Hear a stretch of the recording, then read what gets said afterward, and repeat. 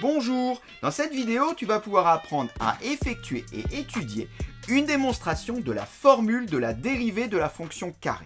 Autrement dit, si f de x égale x au carré, il va falloir prouver que f' de x égale 2x, et ceci pour n'importe quelle valeur de x réelle. Le principe de la démonstration est le suivant.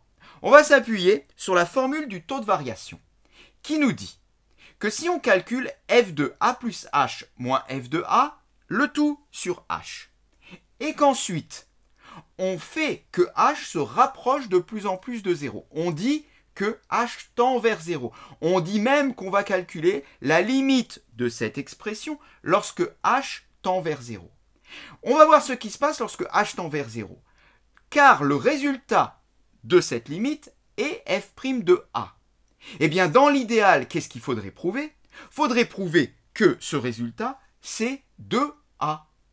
Parce que si ce qu'on prouve là est vrai pour n'importe quelle valeur de a, on aura donc prouvé que f' de a égale 2a pour n'importe quelle valeur de a, au lieu de dire A, on dit X, et on aura donc prouvé que f' de X sera égal à 2X pour n'importe quelle valeur de X.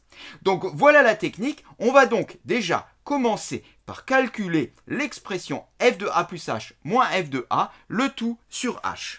Alors ça c'est de la substitution. On sait que f de x égale x au carré, donc f de a plus h sera égal à a plus h au carré. On poursuit, moins f de a. On sait que f de x égale x au carré, donc f de a égale a au carré. On a ainsi le numérateur de notre, expression, le dénominateur, ça reste h. Ensuite, on va modifier un petit peu le numérateur, car a plus h au carré est une identité remarquable, plus précisément la première. On sait donc la développer.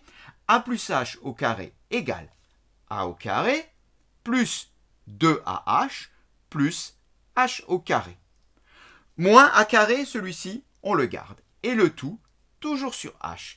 Ce qui tombe bien là, c'est que, on le voit, on a a carré moins a carré.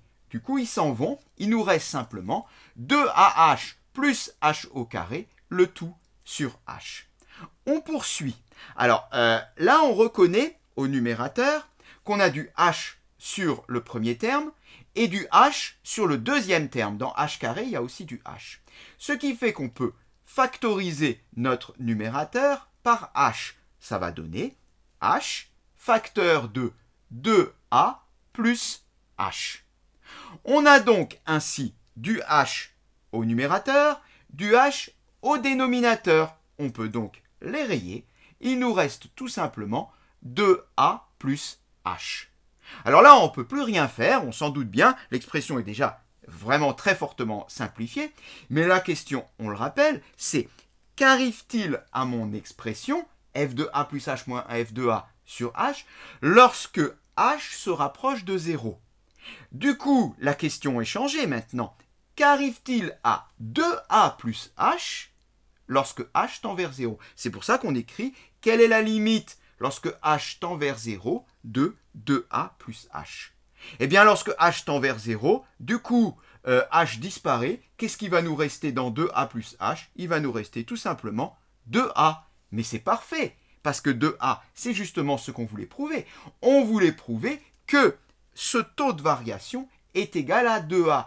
Car ce taux de variation, on le voit dans la propriété, c'est f' de a. C'est le nombre dérivé de f en a. Conclusion, pour n'importe quelle valeur de a, ceci est vrai pour n'importe quelle valeur de a réelle, f' de a égale 2a. Traduction avec des x, pour n'importe quelle valeur de x réelle, f' de x égale 2x. CQFD, cette séquence est terminée.